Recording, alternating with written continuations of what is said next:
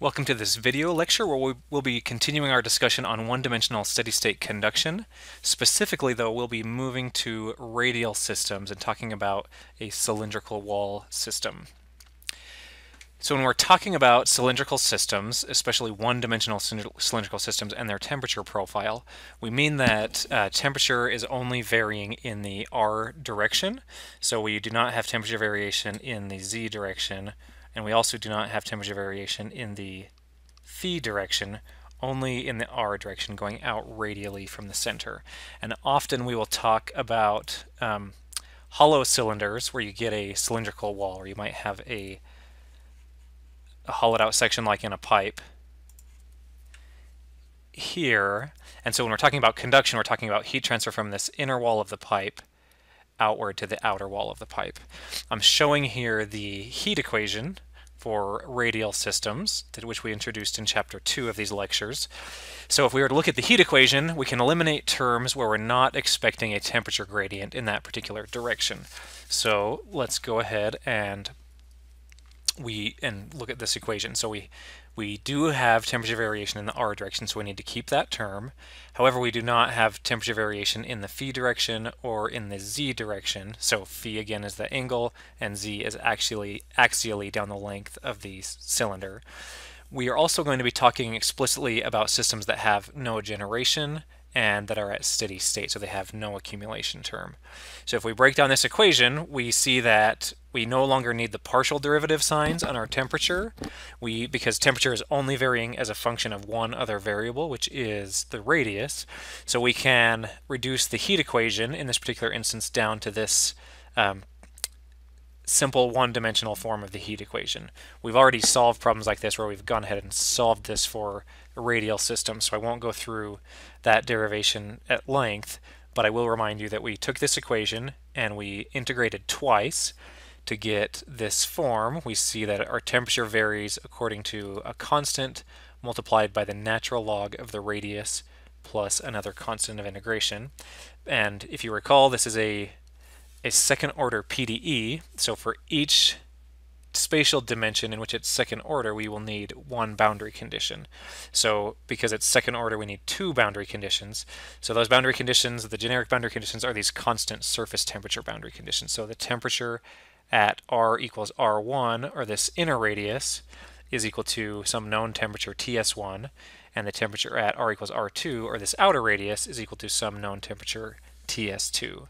So applying those boundary conditions to solve for C1 and C2, we can plug in those specific conditions into that generic form of the equation, and we can solve, do some algebraic rearrangements, and we can get this temperature profile. So we've done this before. If you want to go through it in more depth, you'll have to go back to the example problem where we integrated the heat equation for a cylindrical system. So we're left with this temperature profile, and I want to remind you that the temperature profile is no longer linear as it is for the plane wall system. Here, temperature varies as a nonlinear function of, of radius. Okay, so I want to take a minute to have you reflect. So let's think about this system. Let's um, let's think about a, a cylindrical system where we have, in this particular case, we have this innermost cylinder shown in gray that generates heat. So this could be a nuclear rod that's surrounded by some kind of cladding or insulation. It could be a reaction happening in there. Um, it doesn't really matter so much. So the question is, if we have this generation term here, at steady state, where will the heat flux, Q double prime sub R, be the highest? Will that occur here at r equals r1, here at r equals r2, or here at r equals r3. And you can go ahead and hit pause while you think about this. Okay, so where will the flux be the highest? So we're going to have heat being generated here. So that heat is being generated. It's going to have to get out of our system somehow. So that heat is going to be leaving our system.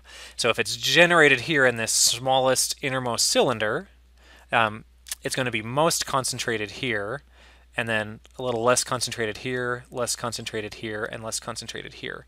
So in terms of the specific radii at which I'm asking, the, the flux will be the highest at R equals R1 because that corresponds to that same rate of heat transfer distributed over the smallest area.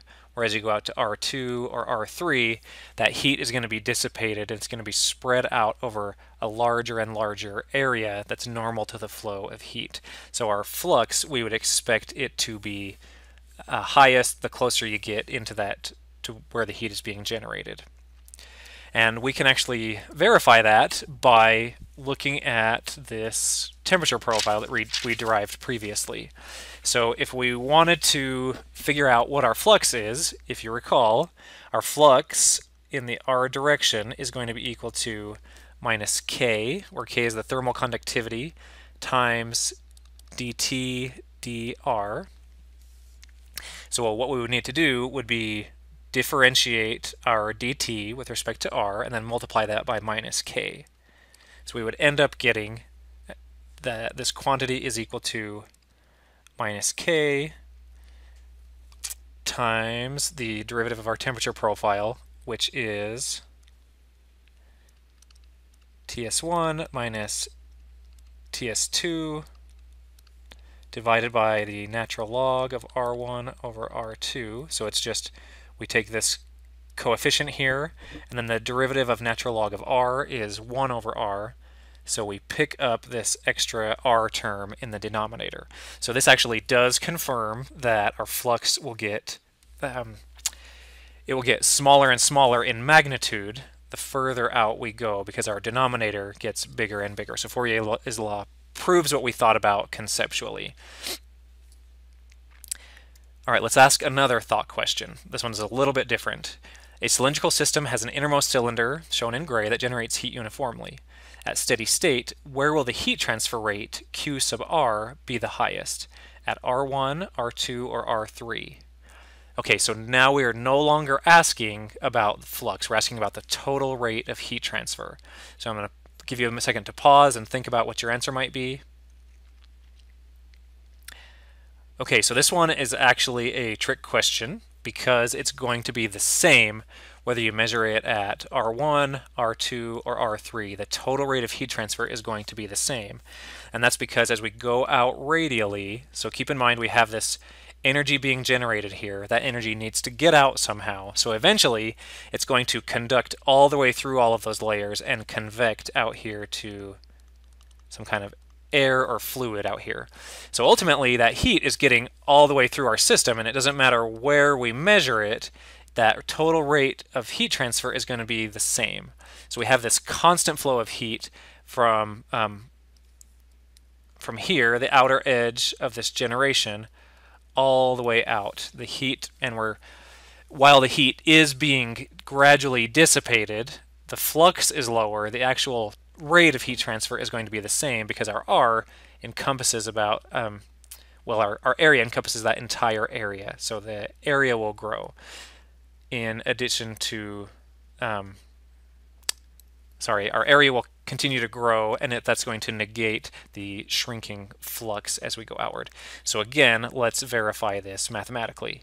So if we looked at our temperature profile to calculate the total flow of heat, we would use this equation. So QR is equal to minus K times area times dt dr.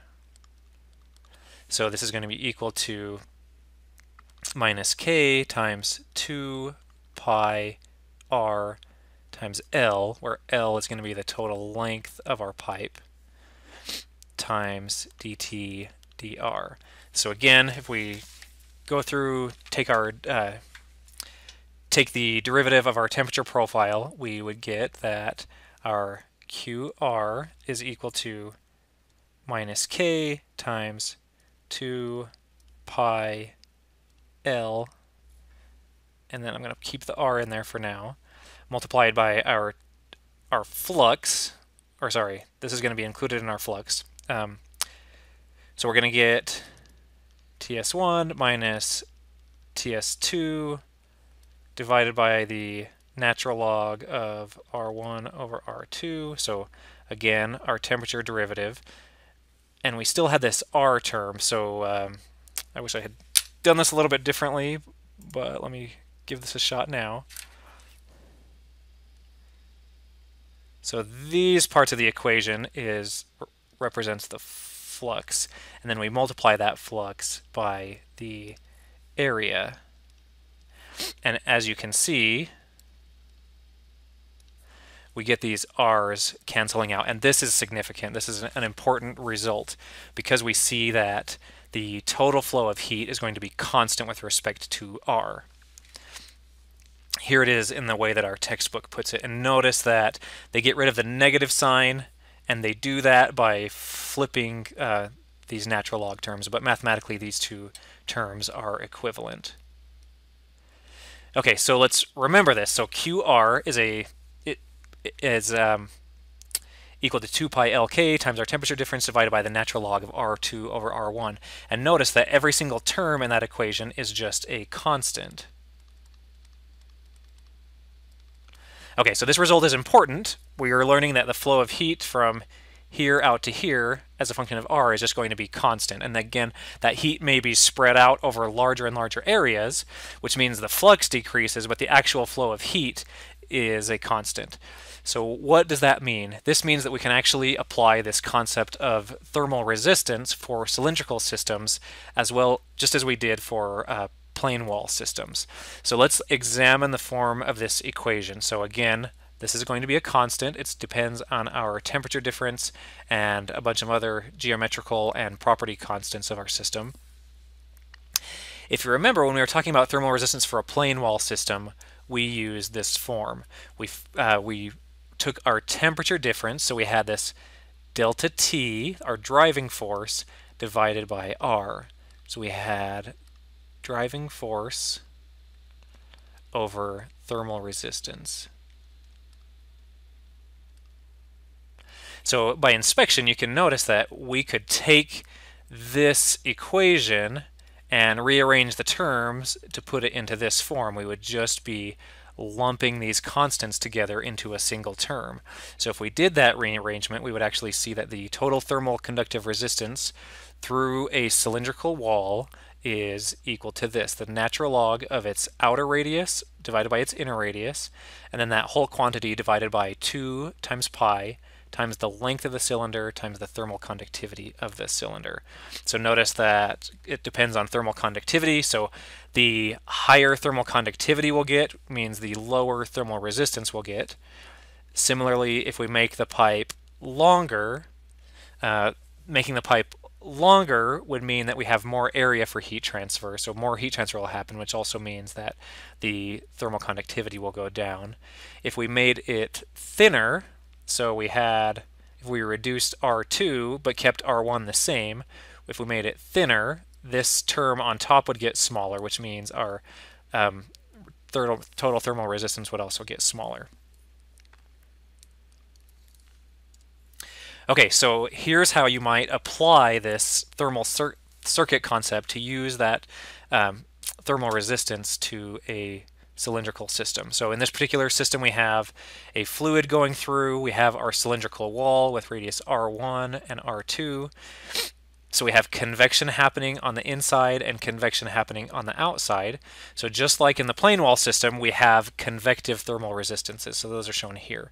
Here is the inner convective thermal resistance, and here is the outer convective thermal resistance.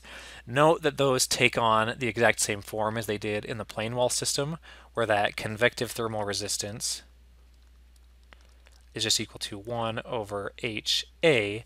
However, our A isn't just length times width, it's now 2 pi r times L. It's basically just the surface area of a cylinder. So here we have the surface area of the inner part of the cylinder. Here we have the surface area of the outer part of the cylinder. And then between those two terms, we have our conductive thermal resistance. So again, we can build a thermal circuit just like we did before, where we have the convective thermal resistance on the inside we have the conductive thermal resistance through the cylindrical wall, and then we have the convective thermal resistance on the outside of that wall.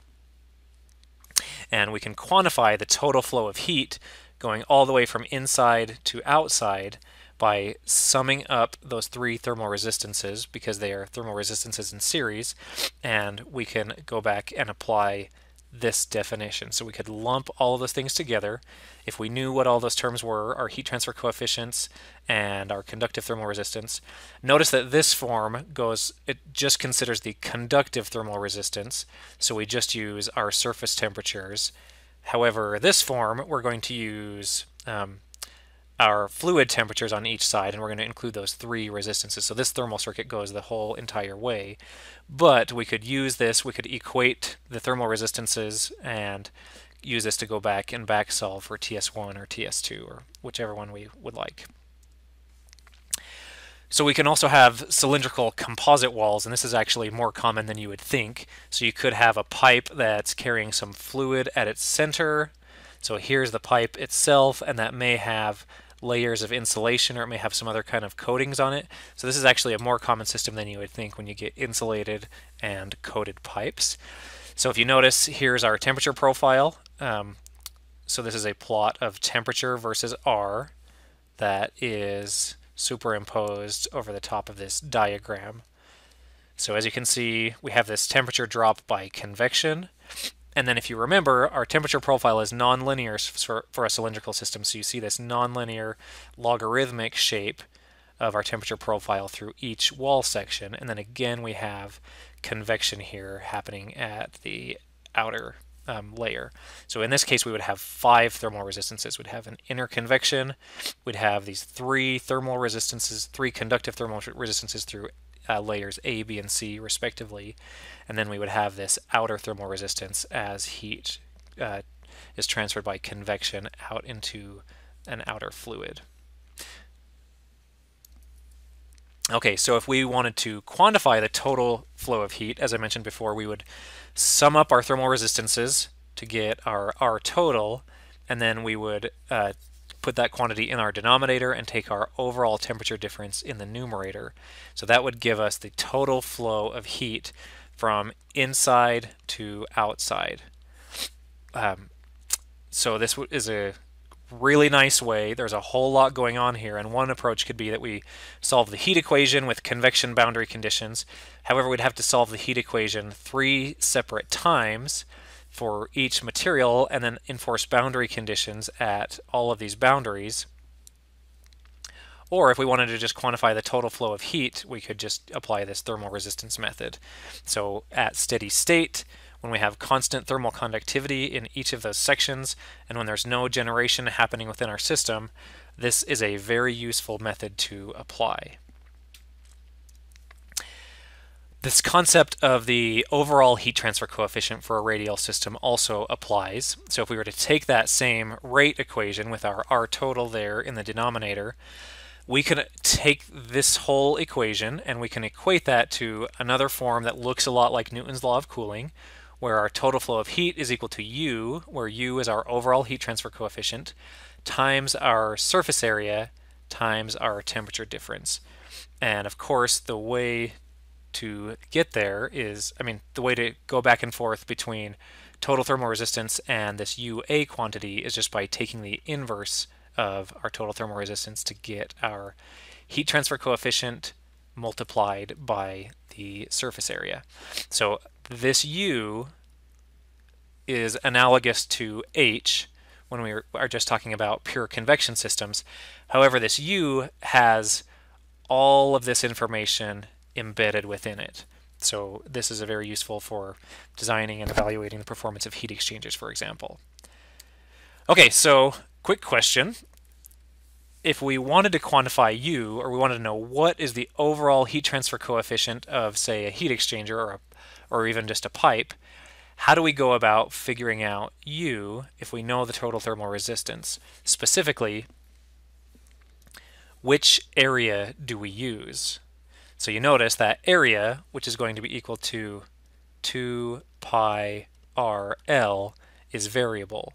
The area changes as R changes. So if we measured area here at R equals R1 or here at R equals R2, we're going to get two different areas. So which one do you use to quantify specifically which U you are using? So this is somewhat arbitrary, but you actually would pick where you are evaluating your U.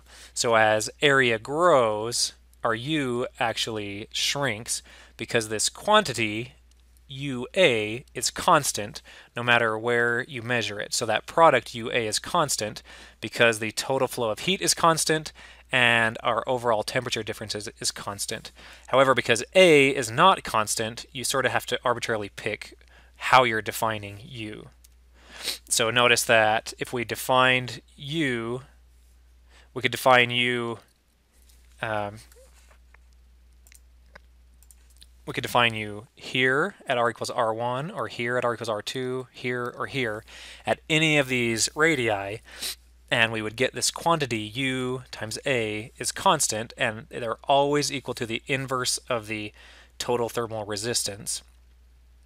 So we would pick, if we had a pipe system and someone asked us, what is U for this pipe system, we would say, well, U is a certain value, and we define this as the U as determined by the inner radius. So if we wanted to define, figure out the inner radius, we or find out U based on the inner radius, we would take our system and divide through by 2 pi r1 times L, and we might get something that looks like this. So our U1, or U defined at this area, the, the inner radius of our cylindrical wall, would come out to look like this. But this would look different, obviously, if you measured this at R2 or R3 or R4.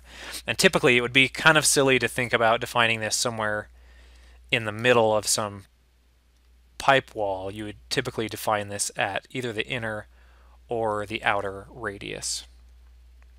But this is a some useful tools for analyzing cylindrical systems using this thermal resistance method and using an overall heat transfer coefficient.